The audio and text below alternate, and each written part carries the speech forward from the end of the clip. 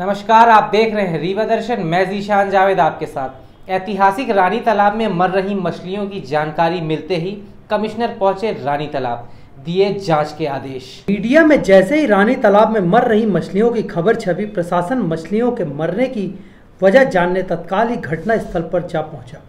जी हाँ मछलियों के मरने की खबर रविवार को मीडिया जगत में विस्तार से प्रकाशित की थी। यह खबर जैसे ही कमिश्नर रीवा डॉक्टर अशोक कुमार भार्गव को पता चली, उन्होंने तत्काल ही सभी प्रशासनिक अमलों के प्रमुखों के साथ रानी तालाब का दौरा किया। मछली विभाग को इस बात की जाँच करने के लिए कहा गया है, मछलियों के मरने की सही वजह पता लगाएँ।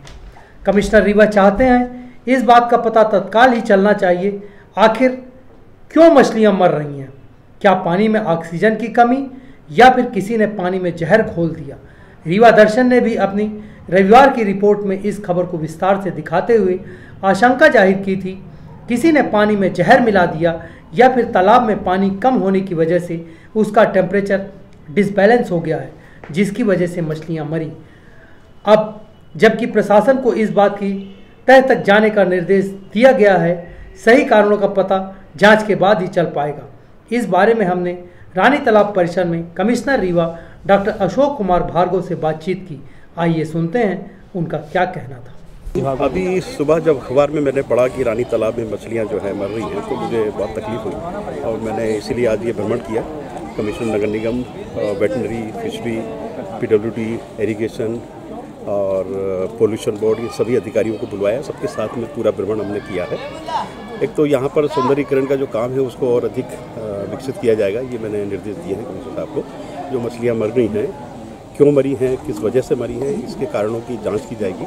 और इसके लिए फिशरीज डिपार्टमेंट और अपना वेटनरी के जो डॉक्टर्स हैं, उनको बताया है। वे इनका जो है पोस्टमार्टम कराने के लिए सागर या जबलपुर को भेजेंगे पानी में ऑक्सीजन की मात्रा बढ़े, इसके लिए जो है फवारे लगाने के लिए बताया गया है। और भी जो बदक वगैरह जो बहुत कम मात्रा में है, उसमें कम से कम हज़ार, डेढ़ हज़ार बदकें बाहर से आएँ वो भी उसमें भ्रमण करती रहे। साफ़ सफ़ाई की पर्याप्त व्यवस्था रहे, पन्नियाँ वगैरह जो पड़ी हुई हैं उनको हटाया जाए और जो मछलियाँ मर गई इमीडिएट उनको वहाँ से निकाल कर उनका जो विधिवत डिस्पोज करने की जो व्यवस्था है वो की जाए।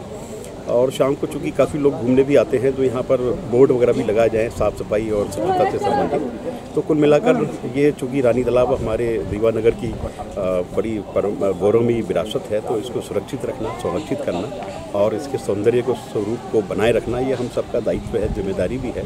और इसीलिए सामूहिक रूप से हमने आज यहाँ इसका निरीक्षण किया और जो भी कोशिश की जाएगी इसमें, इसके सौंदर्यीकरण के विकास के लिए और इस क्षेत्र को और अधिक इसके स्वरूप को आकर्षक बनाने के लिए वो सब प्रयास किए जाएँगे। कुछ दिनों पहले कुछ कारण सामने आए अब ये जो मेरी फिशरीज और जो वेटनरी वालों से बात हुई है दो तो कारण हो सकते हैं। या तो किसी ने किसी तरह का कोई इसमें कोई ऐसा पदार्थ जहरीला डाला हो जिसकी वजह से मर गई हो अथवा पानी में ऑक्सीजन की मात्रा कम हो उसकी वजह से हो गई हो। अब वस्तुतः क्या कारण है ये तो जो पोस्टमार्टम जब की रिपोर्ट जब आएगी तो उससे ही पता चल पाएगा।